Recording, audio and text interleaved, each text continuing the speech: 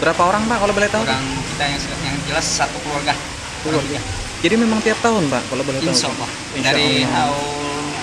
tahun 8 kalau salah ya. Tahun 8 sampai sekarang yang ke-12. Sampai sekarang. Alhamdulillah. Jadi ini di penginapan atau di rumah keluarga Pak? Di rumah teman. Eh di rumah teman.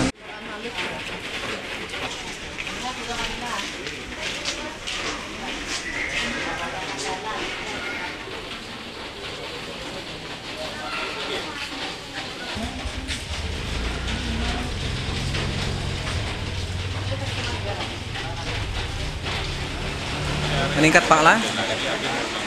Ah, terutama untuk apa nih Pak yang lebih ramai ini? Foto-foto ini yang berhubungan dengan Allah